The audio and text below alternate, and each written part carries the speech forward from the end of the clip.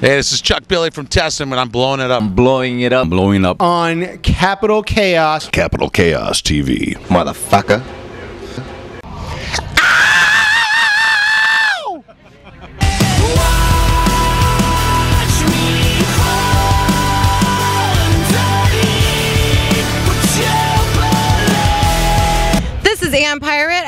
Aftershock with Capital Chaos TV. I'm standing with Spencer and Stephen of Sleepwave. We're going to pick their brains, talk about everything that's going on, how hot we are, and how hot they are. Uh, so, how are you feeling today, man? I am sweaty and exhausted. I got a cloud of dust in my lungs, but I'm feeling great. Awesome, awesome. And you? I'm I'm generally soupy in the nether regions, but I've earned that. We did play hard today, so I'll take it. That's fine. That's fine. So, how do you guys stay cool when you're playing an outside show like this and you're constantly sweating? Are you, do you stock in baby wipes and water or? Gold Bond. Gold- Gold Bond is your friend. Yeah. Ah. Yeah. Gold Bond, baby wipes are killer. Water, dude. Like, Yes. you know, bands love to drink, but if you got a show like this, you got to know, man, like, you got to drink a ton of water before Fuck you get up there. Like, our bass player, who's not as weathered as we are, he's just a Mm-hmm. higher guy.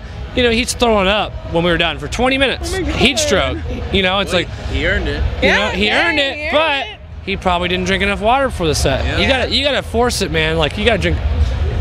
No matter how early it is, you gotta get at least a half ga- half gallon to a gallon down Yeah, before a show. We're like fish out of water. fish out of water. Out anyways. Yes. All right, so Broken Compass, it is out, but releasing on the 16th. And The Wolf is that off that new album, Yeah, correct? yeah. Okay, so watch the video. Awesome. Oh, yeah. Read the lyrics. I love it. In my own perspective, it sounds like a breakup. Something of a letting go. Can you maybe yeah. give a little insight? I mean, it's letting go. It's definitely not a breakup. It has, Okay. it has nothing to do with any female I've ever dated. So Oh, okay. I don't I don't write about I don't write about that. I write about deeper shit than that. It's more of like a a, a family struggle and something that was really close to me that really you know like.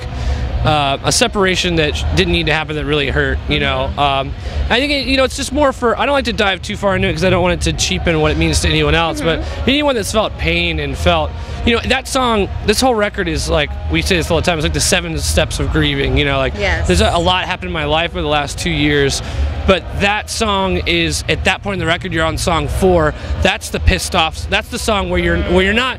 You're, you're saying what you would never say. You know what I mean? Like you're. This is like the fight of, of the record. You know, that's the song where you're just like, you know what? Fuck you. You know, it's like Yeah. it's not what what maybe really I feel on a daily basis towards this situation, but that and that song I wrote it from that standpoint. Like this is the like heated moment. You know what I'm mm-hmm. saying? I understand. So, how strongly do you feel that music can be used as a therapeutic tool? That's the whole point. Yeah. It's it's when you're not when you're writing about having fun and partying and like that shit's just so empty to me. Like, like we we talk about this in every interview. It's like where are the Lane Staleys? Where are the Trent Reznors? Where are the Kurt Cobains? Where are the Maynards? Where are the Chinos of this modern day? Where's the next wave of those? Because everyone's writing about like nothing. It's so empty to me. So to like have some balls, like the stuff on that record, like I, I'm not. It's not something I want. You know, you don't want your parents to read, and your best friends to read, because it's like it's really personal, deep Oh, yeah, stuff. it is. Eh, but you know, that's the point of music. Is you know like.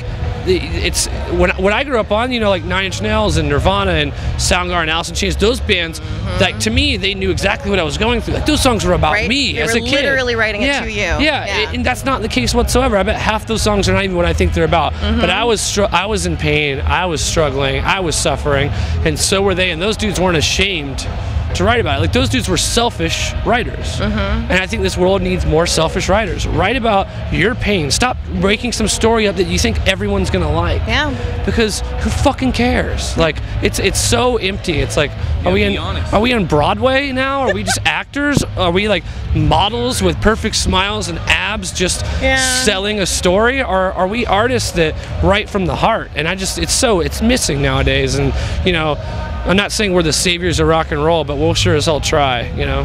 Fucking hated that. So if you're having a bad day, dude, what music would you look to to either lift your spirits or give you that kick in the ass of motivation? I it- for me, weirdly enough, like Tool and Deftones are two artists that regardless of of what I need at the time and regardless of the content that they might Mm-hmm. or I might source from them, it never fails. Like Deftones especially. Deftones is one of those bands where it's like Oh, yeah. every time I put Saturday Night Wrist on, my day or evening is better for having listened to it. Mm-hmm. Old school record that's like about his mom or something. That one's the Ænima or something like that. Isn't it something It is like in- that? Yeah. Yeah, mm-hmm. yeah. Dude, that record is yeah it's like uh, it's it's like it lives within and outside of its message and i think that's that's a killer thing when you can pull it off like there's moments on our record not to sound like an asshole for saying this but there's moments on our record where you know sometimes that's what i need to hear and it's Mm-hmm. weird to make something out of context and then in the future find yourself in a moment where your own work gives you the guidance you needed but it's Isn't that happened to me twice since the record was finished Yeah. and and that means the world to me because it's just for the headiness of it, Yep. if not for the you know the value that I reap from it. It's Substance, man. It's Right? real Yeah, it's a substance. beautiful thing. It's It a beautiful is. thing. It is. So, working with David Bendeth, I understand, was challenging, fun. Is there anything that you'd like to share, or was it just that it was pushing you to other levels, or, or what was it like? He's a complete asshole. And there it is. no, I, I love the dude to death. Um, I had had a relationship with him from prior. He mixed an Underoath record of mine in uh, 2008, and I always I always liked his advice. Like he busted our asses while we were there, and we should have taken his advice. So when it came time to do this record, and he was interested, I was like, let's let's do it. And um, you know, he doesn't use shortcuts, which I really really admire. Like he doesn't you know, edit the guitars or drums too much. He doesn't VocAlign or melodyne. Like the dude, the dude makes a real record. He's you know 60 years old. He's old school. Yeah. And I think it made us. I've been playing guitar since I was in first grade probably, mm-hmm. and I haven't learned as much as I learned on that record in a long time. And I could I second, being- I second and that being a- entirely. yeah, totally agree. Being a singer, you know, I was singing in choir in middle school, and I've never been worked like that. You know, I you know I've done, you know, a lot of Underoath records and records before that, and I've never, never been like to where someone like really dove into what I was saying and made me feel it, relive it, be in it, and really I- listen. And I think that it's it's on the record. You can really really feel it. You know, like I think it's there. You know, it's That's like, and I, I can't thank the dude enough. I, I call him an asshole. It's it's really a joke. It's like, but if you're It's a not term of endearment. it- it's, Yep, it's not. It's a term of If you're not up for the challenge, if you're not willing to, you know, he pushes you to your limit and then some as Mm-hmm. a play. And most, you know, a lot that breaks a lot of people. And. I'm, I'm not saying we're the best, but I'm saying that that dude, if you're not, that's that's you can bite off more than you you can chew if, if you work with someone like that. But he makes what I think some of the best sounding, most most rocking records. I think uh-huh. that dude's killer, and I I will go back to him. And if some of my friends ask me if they should, I'm like, well, are you are you ready? Like, are you I willing? was just gonna ask. I know it's too soon to talk about another album, but if the opportunity presented itself, would you definitely want to do it with him? I'll wipe the floor with Bendeth's ass. You ready? That's a yes. I, I, I love him. We talk all the time still. If he watches this, he'll laugh. I'm really not talking crap. I love the. I respect him so much. Like That's uh, rad. but I do know I don't. I don't think he's for everyone because I think that, you know.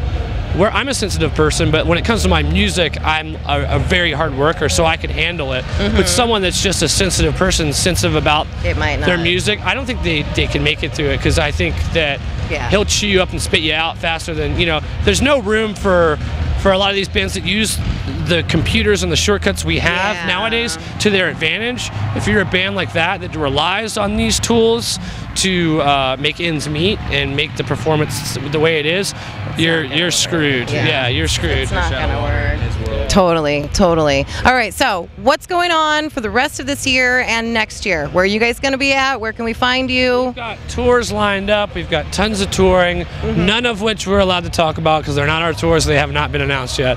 the only one we can talk about is going overseas. We're going to the UK. We're doing some stuff with Bring Me the Horizon. I Horizon. was just going to say, yeah, bringing the horizon, and then uh, nothing more this year. We just we're, we're on nothing tour with nothing more right now. right yeah, now. Yeah, we've been we've Okay. been out since August first with them. Nice, So, yeah, it's nice. been good. It's been a really good run. It's been great. They're good dudes, and I feel like we as far as band on band, we make a good team in that way, and that makes for a good tour, a fun tour. Oh yeah, you know? it, it makes it a lot more funner. He's super cute, you know. He's got a good shape, you know. well, that's always a bonus. All right, I want to thank you guys for taking the time. Is there anything that you'd like to say to your fans or anybody that's going to Uh, watch this? Well, the record comes out in a couple of days. Yes. You can stream it, hear it on Spotify, YouTube, whatever. If you like it, try. Try to buy it because Buy we. Buy it. we- well, I know it's a crazy, crazy concept, but you, you know, everyone always says you don't make money off of records. That's not true. Like being a new band, you know, your record label is your bank, right? Yes. Okay, so Epitaph supports us 100%. And we if we can't afford to tour and they can't afford to loan us any more money because no one's buying that record, Mm-hmm. being a new band, you know, it's like yeah, some of these bands that are headlining that you they're on their fifth or sixth record. Yeah. You don't feel like buying but it, if not just us, any new band that you like, anything anything new and fresh, every every dollar you don't spend, it's it's more than likely they're never going to come to your town and probably break up into the year because it's Yeah. it's it's tough. Like like when I started touring with Underoath, you know, we, that's when people were still buying music. It was easier to tour. Money, gas was cheaper. Mm-hmm. People are actually buying CDs and buying T-shirts, and Yeah. you need help from the label. They're there because they're making their money back. Mm-hmm. Now, being a new band, trying to cut through Yeah. the crap and just get your head above water enough to where you can tread without drowning, it's really tough. Yes. We've been we've been at it for we've been on tour for the last year and have not made one dollar. You guys hear that? So they work hard. Bottom line, Hard work. If you like it, support it, or else it goes away. Yeah. That's it. Yeah, That- just, just like any other venue or business or anything that you love, you have to continue to support it. Favorite restaurant serves the best cheeseburger ever. You steal that cheeseburger three times a day until they're like, "Wow, we we're losing all our money. We're we gotta shut. burgers." We gotta shut down. We can't afford to ship these great burgers in from this butcher that we love. We're either gonna start making shitty burgers or we're gonna shut down. Yeah. So Yes. it's it's just logic. I know kids aren't gonna buy it. Whatever. but it's worth a shot. Yes, it is. This